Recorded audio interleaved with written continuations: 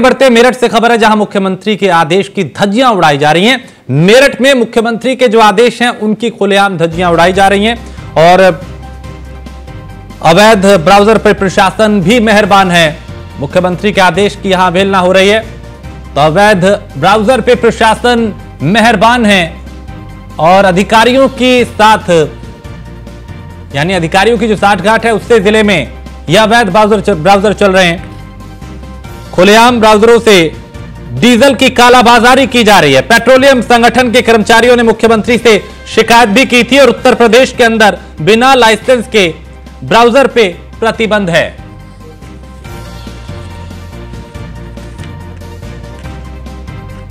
तो प्रशासन के संरक्षण में, शहर में यह अवैध ब्राउज़र चल रहे हैं और भारी तादाद में, मेरठ में डीजल की कालाबाजारी की जा रही है।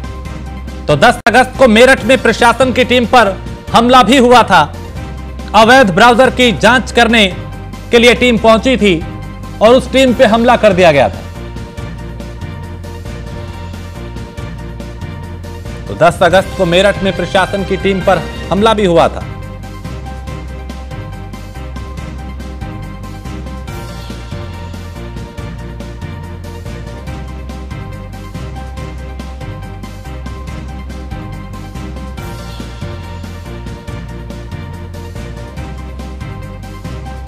प्रशासन के संरक्षण में चल रहे शहर में अवैध ब्राउज़र और भारी तादाद में मेरठ में अवैध ब्राउजरों से हो रही डीजल की कालाबाजारी। 10 अगस्त को मेरठ में प्रशासन की टीम पे हमला भी हुआ था। उसके बावजूद यहाँ पे कालाबाजारी रुकने का नाम नहीं ले रही। और प्रशासन क्या सवाल यही कि क्या प्रशासन का संरक्षण इनको मिल रहा है?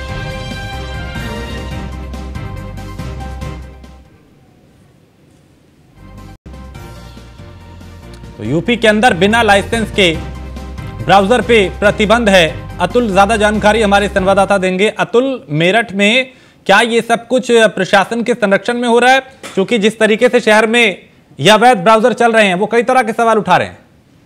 देखिए राजेश, कहीं ना कहीं देखा जाए, मेरठ प्रशासन की बड़ी लापरवाही देखने को मिल रही है। मुख्यमंत्री के आदेश के बाद मेरठ में जो ब्राउज़र हैं, उन पर प्रशासन कार्रवाई नहीं कर पा रहा है। मेरठ में महज चार ब्राउज़र हैं जो रजिस्ट्रेशन है कंपनियों से अलग अलग कंपनियों से, इंडियन ऑयल से भारत जो पेट्रोलियम है उससे और अलग अलग कंपनियों से रजिस्टर्ड है लेकिन उसके बाद अगर देखा जाए तो कहीं ना कहीं शहर के अंदर भारी तादाद में ब्राउज़र से काला बाजारी डीजल की की जा रही है। उसके चलते अगर बात की जाए तो प्रशासन के अधिकारी मेहरबान है। प्रशासन के अधिकारी खुले में ब्राउज़र जो ब्राउज़र है वो तेल बांटते हुए नज़र आते हैं लेकिन प्रशासन के अधिकारी कहीं ना हम्म। कहीं उन पर कार्रवाई करते हुए नज़र नहीं आते। सवाल ये खड़ा होता है कि मुख्यमंत्री के आदेश के बाद पश्चिम उत्तर प्रदेश में ब्राउज़र थमने का नाम नहीं ले रहा है। हम्म। लगातार देखा जाए फैक्ट्री और ऐसी जगहों पर बिगैर किसी कंपनी का लोगो लगा करके ब्राउजरों से तेल सप्लाई किया जा रहा है और उसके बावजूद अगर बात की जाए तो प्रशासन अधिकारी उन पर मेहरबान नज़र आते हैं। किसी भी तरह की कोई कार्रवाई करते हुए नज़र नहीं आते। मेरठ के जिला अधिकारी की बात की जाए एसडीएम की बात की जाए सबसे बड़ा अहम रोल इस विभाग में है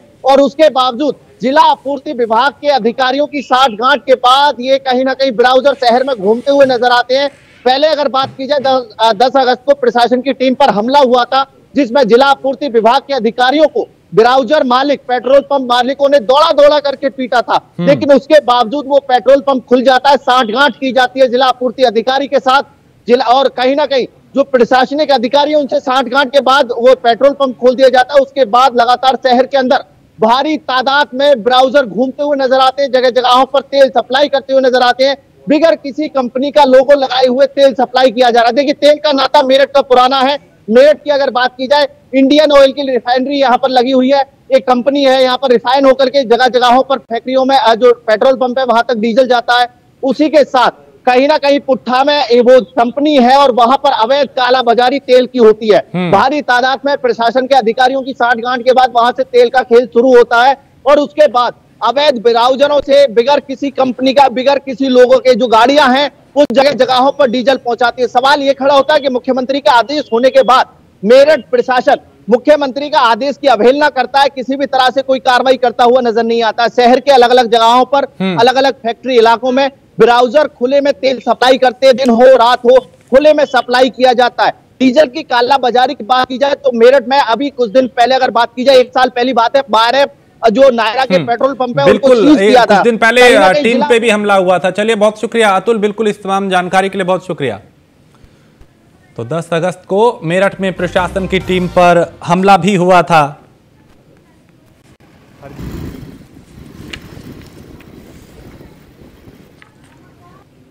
तो यहाँ पे डीजल की कालाबाजारी कैसे हो रही है?